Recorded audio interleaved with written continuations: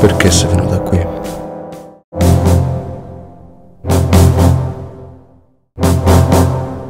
Voglio Lasciala. sapere cosa vuole. Credo sia il momento giusto per intervenire.